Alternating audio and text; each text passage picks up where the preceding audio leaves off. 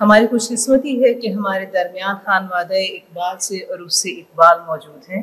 मोहतरमा justice retired Nasra Javed Iqbal साहबा, जिन्होंने अपनी पेशा पेशा वराना मसरूफियात के साथ साथ खान वाद इकबाल की नुमाइंदगी खूब निभाई।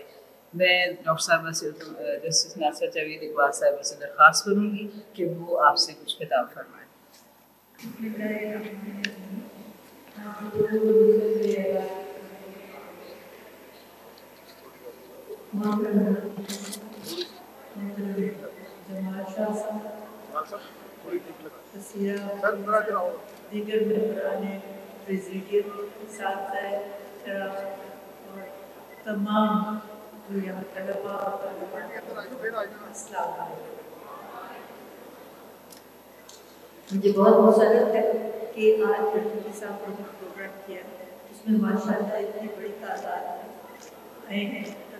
और तालबा जिससे पता लगता है कि वो आप हो गए थोड़ी देर में। और तशरीफ़ का और ये मैं समझती हूँ बाल अकेडमी के लिए बहुत बड़ा एजाज़ है कि हमारा सबसे छोटा सूबा है आबादी के लिहाज से, वहाँ से रफीकी साहब तशरीफ़ लाए हैं और इतनी किताबों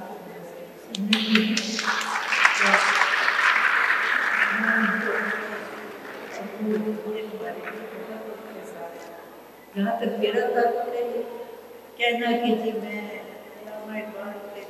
कराने से याद कराती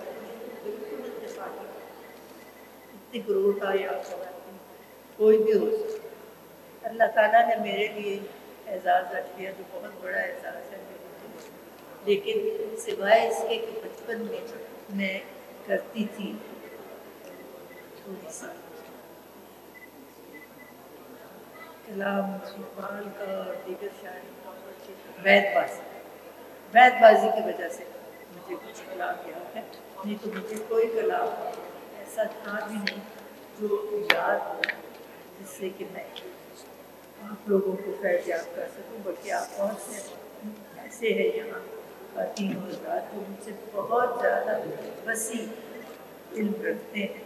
और इन मुझे उम्मीद है कि ये आप नौजवान नस्ल को जैसे यहाँ बात हुई है कि निजात नौ को पहुँचाएँगे क्योंकि अलामा का तमाम कलाम जो था, वो मुतवजो भी था, निजात नौ की तरफ़। और जावेद जो उनके साथ जाते थे, उनकी तरफ़। और जब आखिरी रात को जावेद आए, उनके कमरे में दरवाजे से उन्होंने दस्तक दस्तक दस्तक दी। तो अलामा की बिनाई बहुत कमज़ोर हो कहने कौन तो जावेद ने अर्ज़ की कि, मैं जावेद हूँ। कहने लगी, जावेद बन के दिखाओ तू जाने।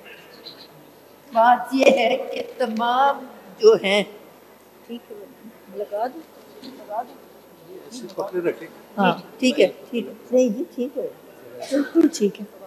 तो बस ये था कि जावेद एक बहुत बड़े घने सायादार दरख्त के नीचे पले तो जितनी उनके पास इस्तात थी, उन्होंने अपने वालिद की लिखी एक ज़िंदा रूद जो उनकी थी स्वान हयात, और उसके लिए उनको एकेडमी ऑफ़ लेटर्स ने एक खसूसी इनाम भी दिया, क्योंकि उन्होंने नौ साल की मेहनत से ये किताब लिखी थी।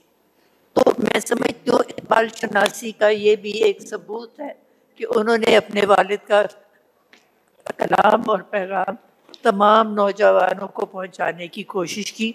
मैं उम्मीद करती हूँ हम अगली नस्ल को पहुंचाएँगे ताकि ये ज़िंदा रहे इकबाल का पैगाम पाकिस्तान में। असल में मैं अभी बसीरा को कह रही थी कि खातून जो है ना, वो ये छोटे छोटे नुक्तों का ख्याल रखती है कि आवाज़ ठीक आ रही है या नहीं आ रही। और हर एक को बात जो है वो सुनाई देती है या नहीं देती।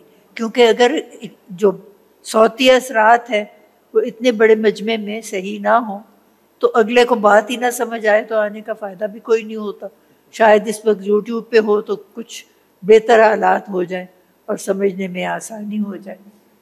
मैं लंबी बात नहीं करती, इसलिए कि मुझे तो कुछ इतना ख़ास पता ही नहीं है, आप लोगों को ज़्यादा पता तो मैं दीगर तमाम जो है यहाँ मुखातबीन, उनको मौका देती हूँ कि वो बात करें। आप सबका बहुत शुक्रिया कि आपने मेरी बात में खलल करने की कोशिश नहीं की। बहुत शुक्रिया।